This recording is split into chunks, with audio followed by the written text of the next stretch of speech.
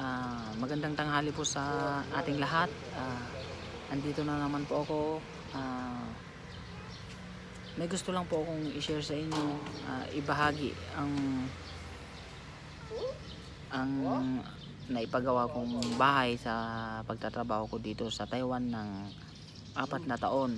Although hindi pa po siya tapos pero sobrang saya ko po kasi yung pinaghirapan ko ah may napupuntahan. Kasi kahit pagod ka sa trabaho kung nakikita mo yung pinaghirapan mo ah, ang sasaya mo di Ah, kaya sobrang saya ko po kasi dream dream house ko po ito eh na ang tagal ko pong pinangarap di ko akalain na magkakaroon ako nito. Kahit hindi po po siya tapos talagang sobrang saya ko po. Ah, ito po siya ipapakita ko po sa inyo. Ah, ito po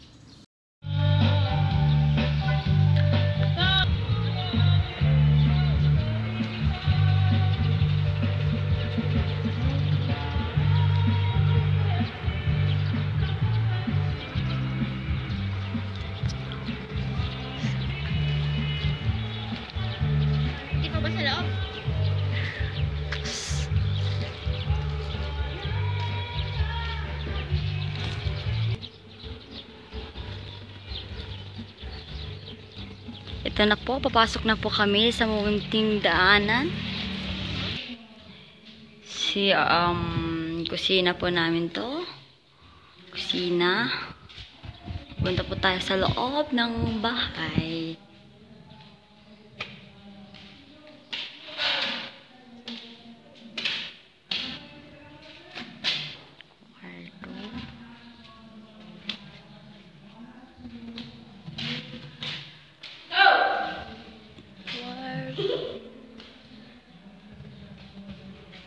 Isang kwarto po ulit. Ano ulit to eh.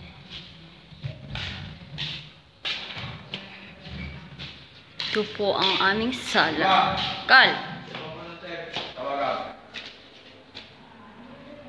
Sala. Aman pa sa kunlad ko.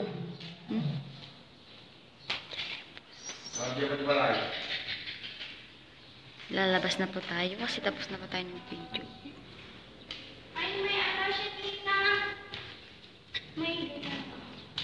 Slide. Ito siya.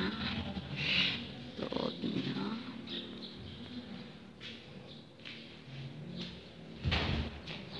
Lalabas na po tayo ulit. Nahinto po kasi yung pagpapagawa ko ng aming bahay nung nagkasakit po ako kaya prioritize ko po muna yung pagpapagaling. Mm, maybe someday po itutuloy ko lang itutuloy ko din po siya pag talagang tuluyan na po akong gumaling. Ah, ginawa ko po ang video ito para maging inspirasyon po sa mga kababayan natin.